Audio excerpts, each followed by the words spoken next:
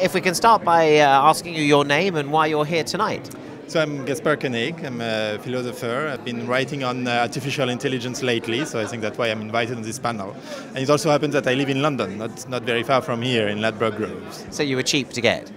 Oh, very cheap, yes, yes. I even uh, walked my way in.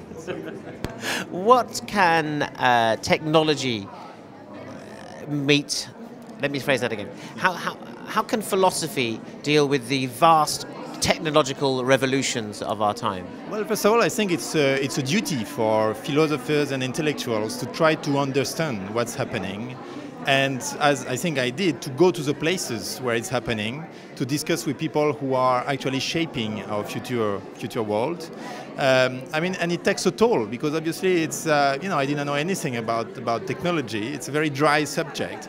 But you have to do that. I mean, when Adam Smith was writing The Wealth of Nations, he was living in Edinburgh in the middle of the Industrial Revolution.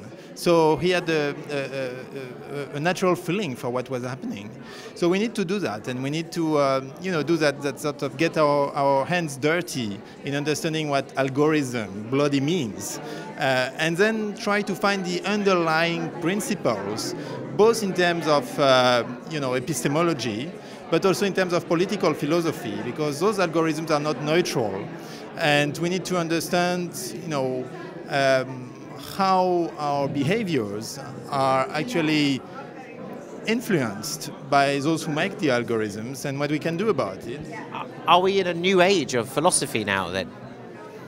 Well, no, those questions are very ancient, and I was surprised to see that uh, you know the problems that arise, especially the problem of uh, determinism again versus free will, is a problem that dates back to the Greeks and went through the Middle Ages.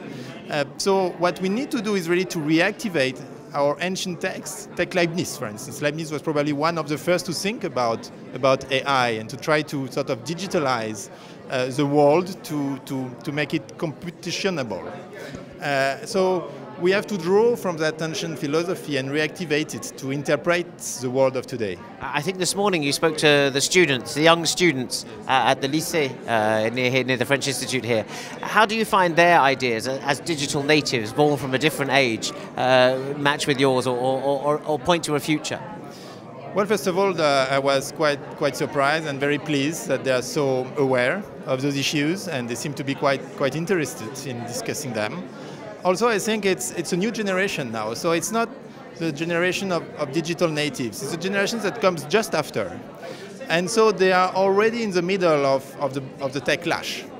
And I find they are more careful in their approach to technology than their elders, and maybe those who are 25 today. And the students, for instance, in the university, they're 25 and they're totally addicted to any possible app. You know, they're biologically addicted. They just cannot leave their phones it may be that this generation is, is starting to, to behave a bit differently and to be a bit more cautious, to understand. They were perfectly aware, for instance, when I asked them, how do you think Facebook makes money? They were perfectly aware that Facebook makes money through their data.